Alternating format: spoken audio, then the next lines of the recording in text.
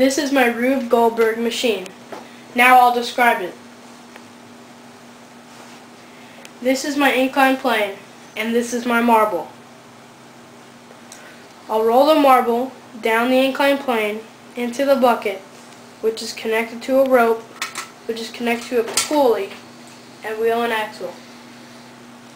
The weight on the other side of the rope matches the weight of the bucket without the marble, so controls the speed at which the bucket drops.